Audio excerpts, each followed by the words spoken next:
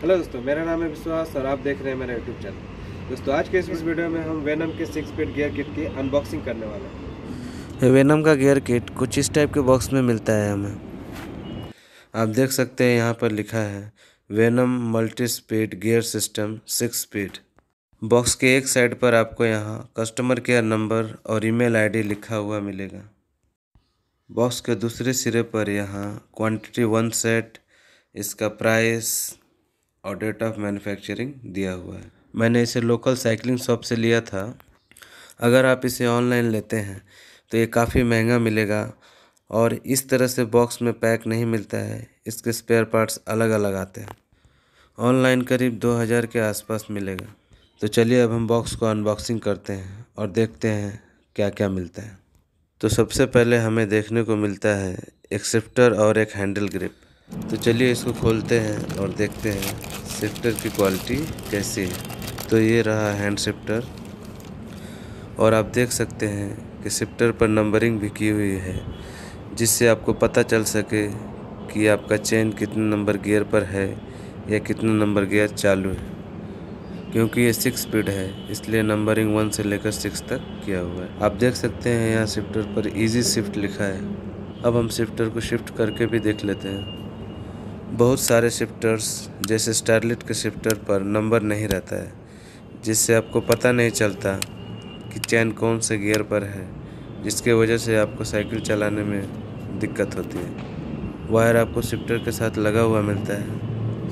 और ये वाशर और छोटा सा हैंडल ग्रिप है, जो आपको शिफ्टर के साथ ही मिलता है, जिसे आप अपने साइकिल के हैंडल में लगा सकते हैं।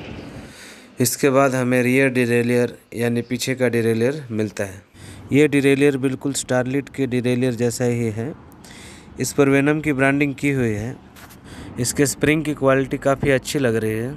यहाँ पर आपको एक छोटा सा बैरल एडजस्टर भी मिलता है, जिससे आप वायर थोड़ा सा टाइट या लूज़ कर सकते हैं।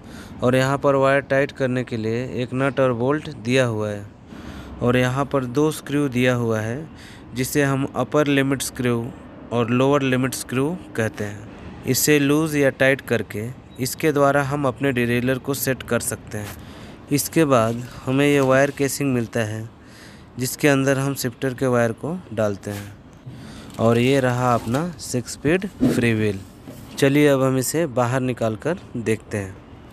ये फ्री व्हील भी स्टारलिट के फ्री व्हील के जैसा ही है। इसे हम सादे साइकिल में लगा सकते हैं, क्योंकि इसमें मोटा और पतला दोनों चैन बैठता है।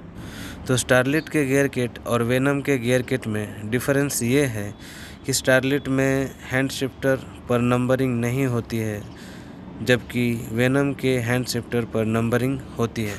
वेनम में आपको जिप टाई नहीं मिलती है, जबकि स्टारलिट में आपको जिप टाई मिलती है।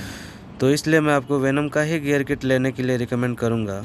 वेनम की गेयर किट स्टारलिट से थोड़ी सी महँगी है। स्टारलिट की गेयर किट 600 में आएगी तो वेनम की गेयर किट 675 में आएगी। तो अगर मेरा वीडियो आपको पसंद आया हो तो वीडियो को लाइक कर दीजिएगा और चैनल को सब्सक्राइब कर दीजिएगा। तो मिलते हैं अगले वीडियो में, तब तक के लिए bye and thanks for watching